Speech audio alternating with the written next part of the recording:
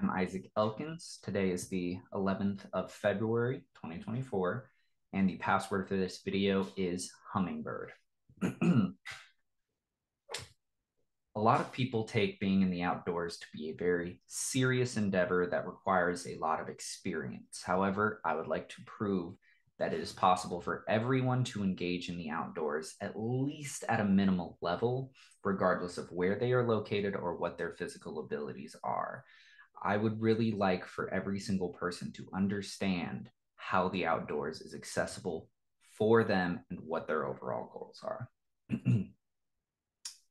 Our first step that we have are walking trails. They are accessible for all ages. They're easy to access. They give a little bit of light cardio depending on what you would like to do on them.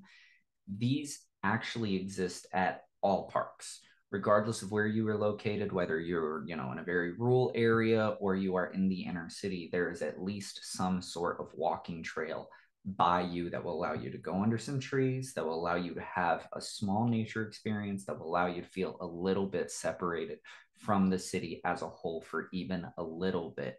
For those kind of trails all you really need are a pair of tennis shoes. That's it. They can be from anywhere. They can be from ross. They can be from costco. They can cost you $80, they can cost you $15.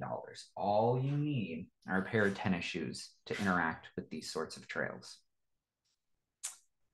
After that, we get into our hiking trails. Hiking trails are excellent for cardio. There's a lot more incline and decline, and it allows for a little bit of time away from the hustle and bustle of the city. This is because there's more nature involved. That doesn't mean that they are less accessible for people. Although they do require a little more work if you are in the city, for example, there might be a small bus ride or there might be a little bit of a drive. Anywhere that you have access to even a small suburban area, there will be some hiking trails. For those, I recommend just a sturdier boot. These are a pair of, you know, hiking shoes that I have they are honestly just a regular pair of work boots that I found to be a little bit more flexible. You know, as you can see, they are very traditional work related, but they work great as hiking shoes if you are just looking for any, you know, intro or in- intermediate trails in that way. And last but not least, we have climbing trails. These are not for the faint of heart. They are definitely a more quote unquote authentic outdoor experience. A lot of people like getting into climbing trails because it really is transporting yourself through the land in a way that is more authentic to what early man was doing. It's about that connecting with roots. Climbing trails, they require some preparation. They require a much more serious pair of shoes, even. These are my Merrells. They're a uh, rather pricey boot that I got for doing these kinds of work. As you can see, you know, they are very sturdy. They really make sure to cover all angles. There's a hardened toe in, in case you have any sort of tumble or fall so that you do not injure your foot in any sort of way because these trails come with a bit more risks. Now, unfortunately, I would say that a lot of areas do not have access to what is necessary to be undertaking these endeavors. However, if you are located in Phoenix, if you are located in Arizona, as I assume most are due to us all attending ASU, there are two good places. One, the Superstition Mountains in Scottsdale.